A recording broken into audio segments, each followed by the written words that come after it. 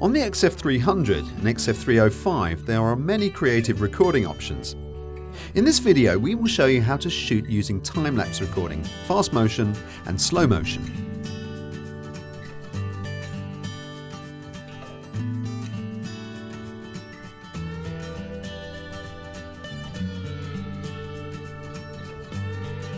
Let's start with time-lapse recording.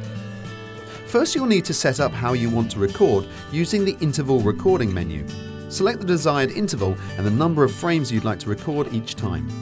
Then, when you're ready, activate this mode using the special recording menu.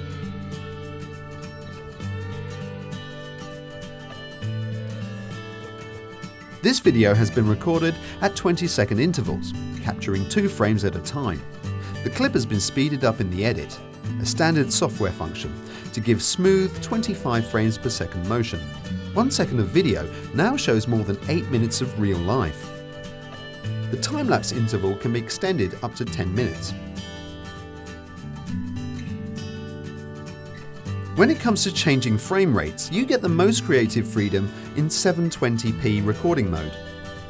In this example, we set up the camera for some faster motion shots.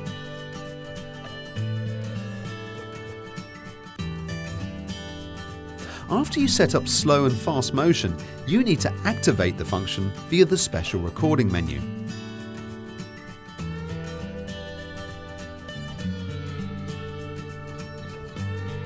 This footage has been recorded at 50 frames a second and is now played back at the standard frame rate of 25 frames to create a beautiful slow motion effect.